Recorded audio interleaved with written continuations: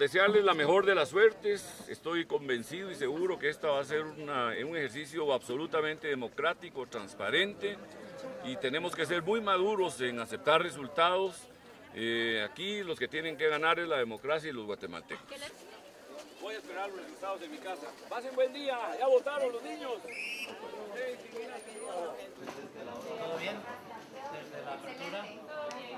Y efectivamente, en lo que hasta ahora hemos visto, pues con toda franqueza, eh, me alegra mucho decir que a la hora presente las cosas están funcionando perfectamente. Es decir, claramente hay una tranquilidad eh, absoluta, eh, la gente acude cívicamente a votar.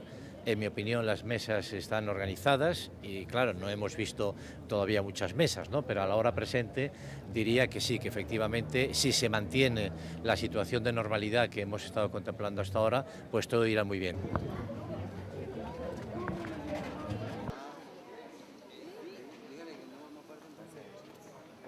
Sa akin?